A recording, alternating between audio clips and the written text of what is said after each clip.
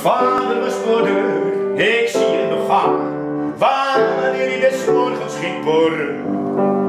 Al was het geen vetpot dat podders bestaan.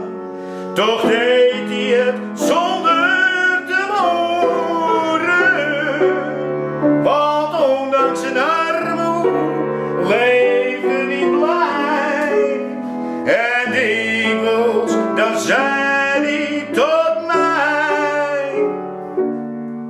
Amsterdamse Looi is een eh, gezelschap dat bestaat uit Martin Spee, Johan Hoogboom, Luc Wijmans en Hanneke van de Biggelaar. Eh, wij brengen eigenlijk eh, tot nu toe Eén programma. één programma. Maar we hebben ideeën voor nog meer werk, nog meer programma's.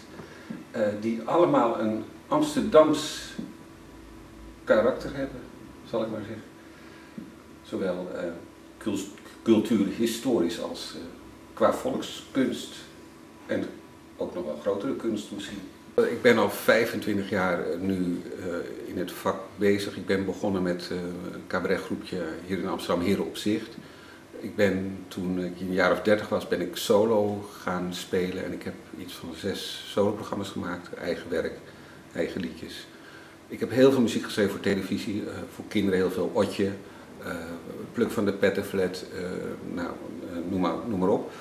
Eh, ik heb ehm, veel les gegeven. Nou ja, ik, ik vind het altijd heerlijk om eh, ook eh, buiten dat ik zelf eh, leuke liedjes schrijf en zing, vind ik het ook heerlijk om als pianist eh, mensen te begeleiden. Eh, Martin Spee kennen we ook van tv. Eh, je hebt bij een talentenjacht meegedaan. Eh, Bloed, zweet en tranen heette dat. Ja, klopt. Op een gegeven moment belde eh, Chris Keulemans van de Tolhu- Tolhuistuin in Noord. En die zei, Martin, er is een talentenjacht in Noord. Ik zei, ja, maar Chris. Hij zei, nee, maar dit is leuk. Dat is eh, heel klein en in Flora-dorp. En ze zoeken de beste volkszanger van Amsterdam-Noord. En eh, hij zei, doe nou mee. Dat, dat, is, dat vind je leuk. Mhm. Dus ik deed mee. En eh, het was een ontzettend leuke belevenis, gewoon op een grasveld in Florida dorp met een podium en, en 15, 20 kandidaten. En ik won daar met de buurt van Willy Alberti, heel toepasselijk een nummer. Ja. En, eh, en toen kreeg ik dacht van nou, dit is eigenlijk wel leuk, gewoon meedoen en kijken wat er gebeurt. En toen heb ik me opgegeven voor dat bloed, zweet en tranen verhaal. eh, op, en dat was ik alweer een beetje vergeten en plotseling eh, werd ik gebeld door de redactie, dus ze gingen opname doen. Ja. En toen ging er wel weer een wereld voor me open, want ik wist niet dat daar 3500 mensen uit heel Nederland om afkomen om daar aan mee te doen. Dus dan krijg je alle auditierondes en ik kwam steeds verder en ik, Johan maakte mooie banden voor me van, want ik wilde natuurlijk graag Shaffi eh, daar doen. Dus ik, plotseling stond ik eh, vorige week eh, op de buis. is gesjochten, de andere rij. We zijn op de wereld niet alle gelijk. Hey. Hoe hebben jullie elkaar leren kennen? Ik eh, mag graag eh, in Café de Kletskop op de Zeedijk eh, achter de piano kruipen. Dus ik zat daar natuurlijk weer heerlijk eh, eh, eh, meezingers te spelen en ik had een gezellig pianootje. En eh, Martin die stapte binnen en eh, daarna werd het helemaal feest. Het werd En, bal. eh, en eh, toen vertelde Martin dat hij bezig was met, eh, met eh, nou ja, mag je me een keer bellen, want ik zoek een pianist voor, ik wil eens hebben over. Dus zo ging dat. Dus dat is die chemie die je dan voelt tussen twee en- en mensen die van muziek houden. En dat je voelt van, hé, die man, die, eh, die, inderdaad wat hij net zei. Ik hou ontzettend van begeleiden. En dat voel je als zanger. Toonhoogte dingetje, eh, halve hoog, halve laag. Hij pakt het gewoon lekker probleemloos. En ik hoorde hem ook Shaffi spelen. Want hij, Johan heeft met Shaffi gewerkt, maar hij heeft gewoon ook willen snappen wat die man speelt. Mhm. En dan hoor je of iemand eh, een Shaffi-akkoord speelt. Zeg maar. Oké. Dat zijn unieke, nou ja, dat kun jij uitleggen, maar dat zijn unieke manieren van, van hoe hij die dingen neerlegde.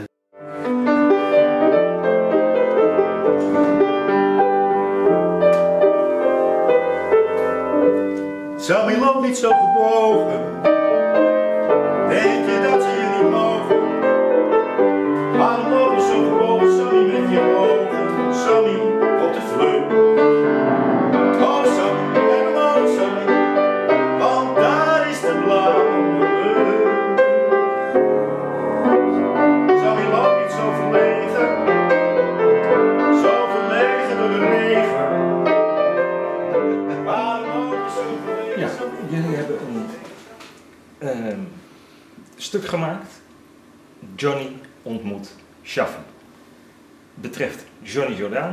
En Ramses Shaffi. Hoe breng je die jongens bij elkaar? Nou, dat is mijn, uh, mijn onzalig idee, zeg maar. uh, omdat ik de twee heren al uh, nou, bewonderde, maar ook gewoon hun liedjes al jaren bracht. En, en, en op een gegeven moment zei ik, ik wil een programma maken over die twee mannen. En toen kreeg ik de terechte vraag van Johan, van ja, hoe zie je dat dan? Wat, heb, wat, wat hebben ze dan? hoe verbind je dat aan elkaar? En uh, toen kwam ik uh, op het idee van, wacht even, ze hebben wel degelijk wat gemeen. Er zit een klein generatieverschil tussen die, de twee heren. Maar als je het hebt over drank, als je het hebt over geld, als je het hebt over vrouwen, als je het hebt over de herenliefde, als je het hebt over, nou ja, Amsterdam, en waar ze gewoond en geleefd hebben, dan zijn daar uh, raakvlakken. Dus daar zijn we naar op zoek gegaan.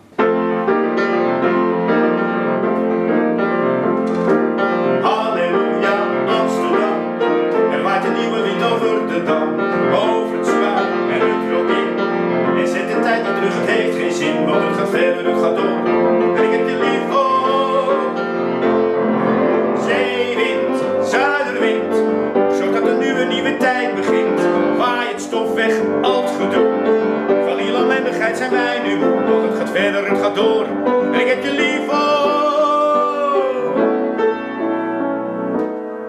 heeft het heerlijk gevonden om alles uit te zoeken over die mannen. En, uh, en uh, die, die is, dat is een soort van lijm in de voorstelling. Ja. Dus wij brengen de liedjes en hij brengt de prachtige verhalen die, uh, die dat met zich meebrengt.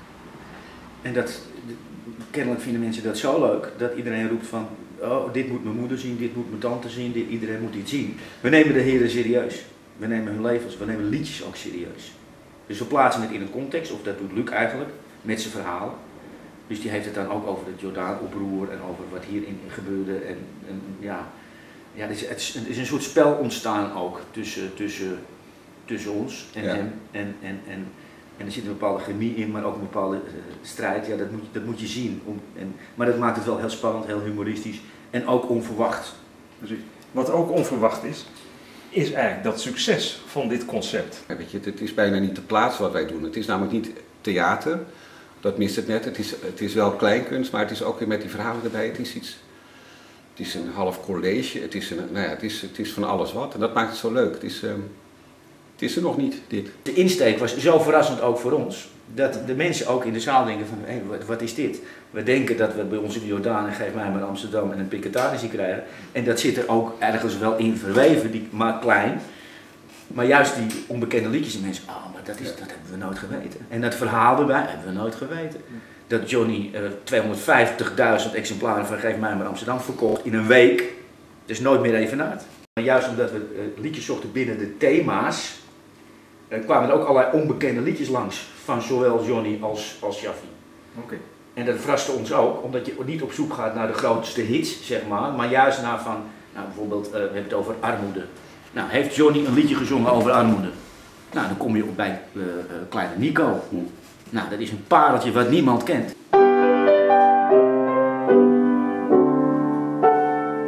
Hij was nog maar een jaar of negen, kleine Nico uit de steeg. Die wil patat met mayonaise, maar oh zo weinig liefde kreeg. Die op een dag zijn kleine hondje, zijn trouwe vriend verdrinken liet. En daarna uren zat te huilen, en dat snapte ze toen thuis maar niet.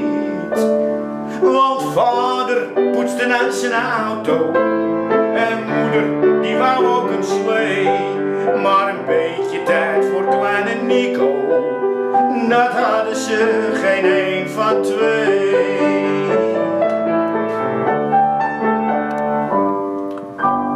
Prima. Jullie eh, doen dit helemaal in eigen beheer. Hè? Ja. Het is allemaal houtje touwtje. En eh, geen sponsoring of eh, wat dan ook. Dus jullie, een verkleedkist, een piano, licht aan, gaan met die banaan. Ja, ja. En, en, en voor zover we tot nu toe, dat lukt en het lukt bijna altijd zonder versterking.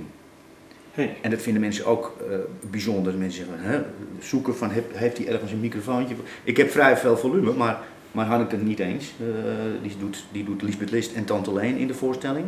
En heeft niet zo'n zo'n zo'n zo'n tenorgalm als ik. Maar toch slagen we erin omdat het heel erg overkomt. En dan wordt het heel klein, intiem. Mensen zijn Ja. muisstil. En, en, en ja, dat, dat, dat, dat pakt. Mensen denken van het is zo puur.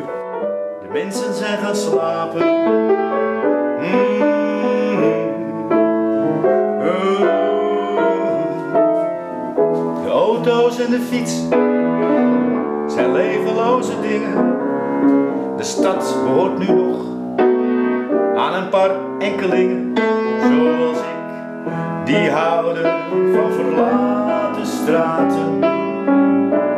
Om zomaar hardop in mezelf te kunnen praten. Om zomaar hardop te kunnen zingen. Want de auto's en de fietsen zijn levenloze dingen. Als de mensen zijn gaan slapen.